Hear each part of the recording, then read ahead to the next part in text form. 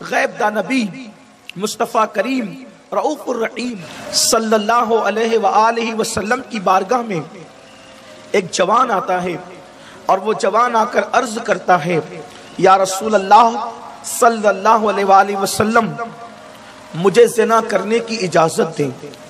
यकीनन, ये उस जवान की जुरत कितनी बड़ी थी।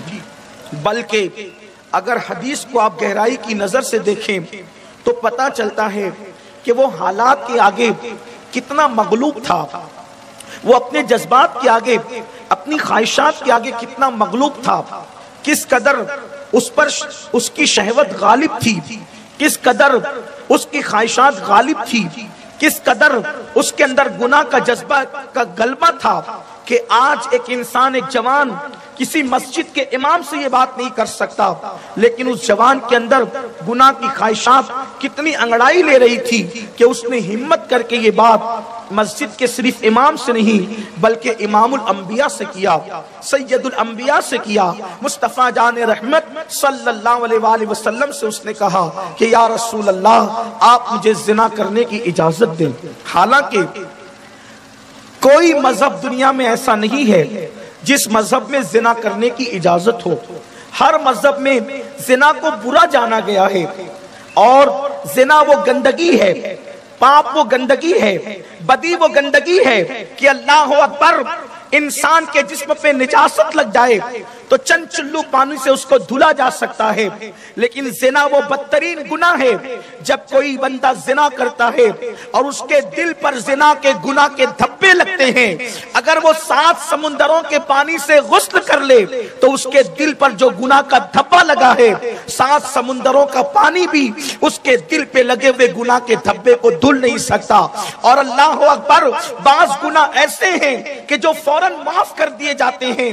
बाज गुना ऐसे हैं जो तौबा की बरकत से माफ़ कर दिए जाते हैं। लेकिन जिना वो गुना है कि जिसकी सजा इंसान को उसकी नस्लों तक मिलती रहती है और उसकी नस्लें परेशान रहती है। बहुत सारे लोग कहते हैं, मौलाना, मैंने क्या गुना कर दिया? मैं तो नमाज़ भी पढ़ रहा हूँ, हर साल उम्र भी करता हूँ, मैं तो हज भी कर चुका हूँ, जक़ात भी दे रहा हूँ, लेकिन परेशान रहता हूँ। मुमकिन है उसके खानदान में ऊपर उसके बाप दादाओं ने किसी की इसमत को तार तार किया था, जिसकी नहूसत आज तक उनकी औलाद को पहुँच रही है। और अल्लाह अकबर उनको बेचैन और बेकरार कर रही है। किसी ने कहा था, लम्हों के गुनाहों ने सदियों की सजा पाई। यही मामला इंसानों के साथ होता है।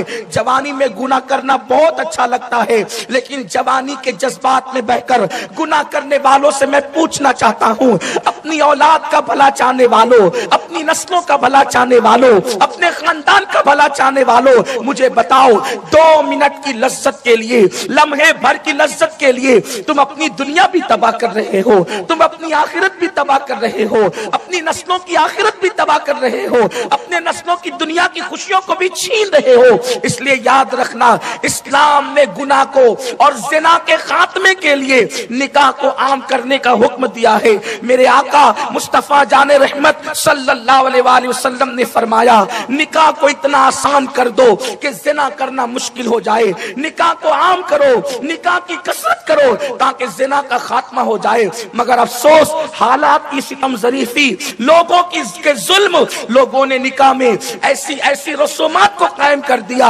अब निकाह करना मुश्किल हो गया और लोगों के लिए जिना करना आसान हो गया। इसके जिम्मेदार कहीं ना कहीं हम ज़रूर हैं। मेरे आका सल्लल्लाहु अलैहि वसल्लम के दीवानों, मैंने बहुत तवील गुफ्तगु नहीं करना। जल्दी से इशारे दे के आगे बढ़ना चाहता हूँ ताकि निकाह की तकरीब जल्द से जल्द जो है, तकमील को पहुँचे और आगे का प्रोग्राम आप समाप्त कर सकें। वो जवान अल्लाह के रसूल के पास कहता है कि, या रसूल अल्लाह आप मुझे जिना करने की इजाज़त दें। महफिल में जो सहाबा थे, वो गुस्से में आ गए। किसी ने तलवार निकाल ली इस जालिम की गर्दन उड़ा देंगे। इसने हमारे नबी से ऐसा सवाल क्यों किया? मगर कुर्बान रहमतुल्लिल आलमीन की, रहमतुल्लिल आलमीनी पर, हुजूर के अखलाक पर, हुजूर के किरदार पर हुजूर की उम्मत से मोहब्बतों पर, हुजूर की उम्मत से शफकतों पर, हाय हाय, आने वाला जिना की इजाज़त माँगता है। लोगों की तलवारें निकल जाती है, मगर अल्लाह के रसूल सल्लल्लाहु अलैहि वसल्लम, जिसने ये पैगाम दिया, गुनाह से नफरत करो, गुनाहगार से नफरत मत करो मर्ज से नफरत कर सकते हो, लेकिन मरीज़ से नफरत मत करो। अल्लाह के हबीब, गैबदा नबी, हम सब के आका व मौला, हमारी आँखों की ठंडक, मुस्तफ़ा जान रहमत वसल्लम ने तलवार निकालने वाले सिहाबा से फरमाया, ये बात मुझसे करता है, जज्बात में तुम क्यों आते हो? उसके बाद मेरे नबी ने उस जवान से कहा, ए जवान, क्या तू इस बात को पसंद करता है कि कोई तेरी माँ के साथ जिना करे? उसने बहुत जज्बाती कैफियत में कहा, चूँकि माँ की बात हो रही थी, उसने कहा, नहीं या रसूल अल्लाह मैं ये पसंद नहीं करता कि कोई मेरी माँ के साथ जिना करे। फिर मेरे करीम आका ने फरमाया क्या तू ये पसंद करता है कि कोई तेरी बहन के साथ जिना करे? उसने कहा, नहीं या रसूल अल्लाह मैं ये भी पसंद नहीं करता। फिर मेरे सरकार ने फरमाया, तेरी बेटी और तेरी बीवी के साथ कोई जिना करे, क्या तू इसको पसंद करेगा? तो उसने कहा, नहीं यार रसूल अल्लाह तो मेरे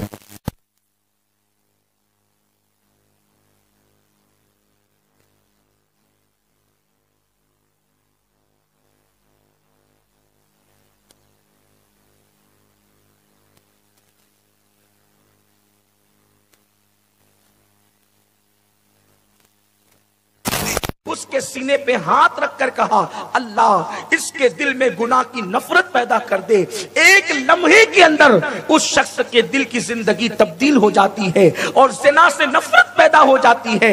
और फिर हदीस से मुबारक से ये इशारा भी मिलता है। इशारत नस के तौर पर हदीस कह रही है, मेरे आका ने फरमाया, अगर क्या तू ये पसंद करता है कि तेरी माँ के साथ कोई जिना करे मतलब ये भी निकल सकता है कि अगर तू किसी के माँ के साथ जिना करेगा तो तेरी माँ के साथ भी जिना किया जा सकता है। अगर तू किसी की बहन के साथ जिना करेगा तो तेरी बहन के साथ भी जिना किया जा सकता है।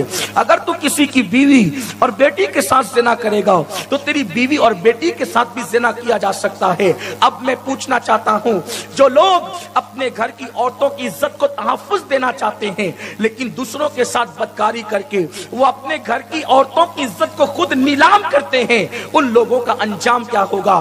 तो ये निकाह के पहले की ज़िंदगी है। इंसान निकाह से पहले की ज़िंदगी को बदी से पाक रखे, पाक दामन रहे, नेकियों पर कायम रहे, नेकियों पे इस्तिकामत रखे और फिर जब निकाह करे तो निकाह करते वक्त भी उसको चाहिए कि वो निकाह करते वक्त कोई ऐसा काम न करे जिससे अल्लाह और उसके रसूल नाराज़ हो जाए। आज लोग निकाह करते हैं, एक सुन्नत पर अमल करने के लिए निकलते हैं, हज़ारों बिदात और खुराफात में पड़ते हैं, डीजे लगाए जाते हैं अलग अलग रसूमात होती है, रत जगह में नाचते हैं, गाने गाते हैं, ढोल पीटे जाते हैं और अल्लाह रसूल को नाराज़ किया जाता है। बेपर्दगी होती है। मर्द और औरतों का इख्तिलाफ होता है। ये सारी चीज़ें अल्लाह रसूल को नाराज़ करने वाली है। और फिर निकाह के बाद की ज़िंदगी। निकाह के बाद की ज़िंदगी ये है कि जिसको तुमने अपना शरीक हयात बनाया है। जिसको तुमने अपनी ज़िंदगी का पार्टनर बनाया है। पार्टनर ऑफ़ लाइफ जिसको आपने अपनी ज़िंदगी का बनाया है। उसके साथ हमारा और आपका सलूक बहुत अच्छा होना चाहिए। क्योंकि अगर हमने किसी से एक मिनट के लिए दोस्ती की, एक मिनट के लिए तो क्यामत के दिन अल्लाह उस एक मिनट की दोस्ती के बारे में भी पूछेगा। मिसाल के तौर पर, अगर हम एक बस में दो लोग सफ़र कर रहे हैं चार लोग सफ़र कर रहे हैं तो एक सीट पे जो दो लोग बैठे थे तो अल्लाह ताला उस सफ़र के मुतालिक भी पूछेगा कि जब तुम दोनों एक सीट पर बैठे थे एक सवारी पर बैठे थे तो तुमने उसकी हक तलफी क्यों की थी? मुमकिन है कि उसकी हक तलफी करने की बुनियाद पर आप नमाजी होने के बाद भी जहन्नम में दाखिल कर दिए जाए। आप रोजेदार होने के बावजूद भी जहन्नम में दाखिल कर दिए जाए। मैं आपसे पूछना चाहता हूँ, अगर किसी के साथ हम एक सीट पर बैठे और उसका हक अदा न करें, उसकी हक तलफी करें तो भी नमाजी होने के बावजूद जहन्नम में जा सकते हो।